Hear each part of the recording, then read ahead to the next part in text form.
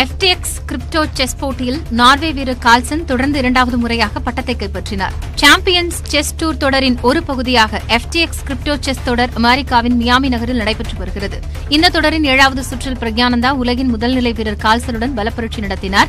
பிரதான போட்டி இரண்டுக்கு இரண்டு என டிரா ஆன நிலையில் டை பிரேக்கரில் பிரக்யானந்தா கால்சனை வீழ்த்தி சாதனை படைத்தார். எனினும் ஒட்டுமொத்த புள்ளிகளின் அடிப்படையில் கால்சன் பதினாறு புள்ளிகள் பெற்று கோப்பையை தட்டிச் சென்றார். பிரக்யானந்தா பதினைந்து புள்ளிகளுடன் இரண்டாம் இடம் பிடித்தார்.